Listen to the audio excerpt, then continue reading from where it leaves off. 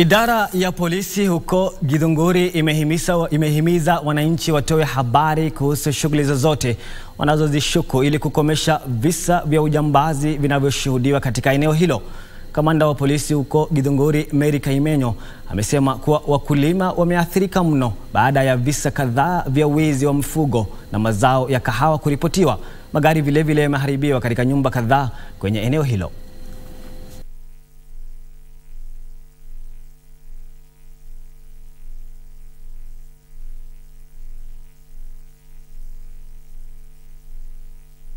Hizi wa ng'ombe hapa eh, sasa ukiangalia ndugu yangu alikuwa anajimudu tu na hiyo ng'ombe moja.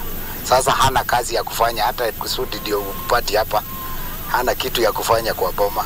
E, zikitolewa sikuona, lakini pahali penye zilitolewa nilienda nikacheki, nikakuta kama wamevunja kofuli kwenye tunafungia wapi ng'ombe, na igawa wanatoka hawakutokea kwa geti, waka wakavunja fence We've had a spate of robberies in this area uh, over the last two months or so.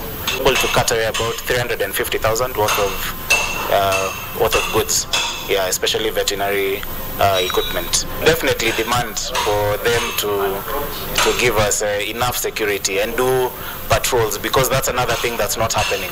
So you find motorbikes in the dead of night ferrying all manner of things and you wonder who are these people working at night yeah so they need they definitely need to do more patrols in the area and uh, make sure everyone is safe We are taking measures to ensure that we have security and we normalize the activities within this sub-county.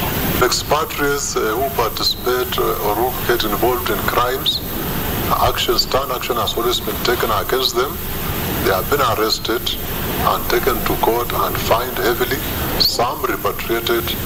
And on the other side, we have also urged the members of public to, to ensure that they vet the foreigners who come to work and be sure that they are people of good behavior, people who cannot steal from them.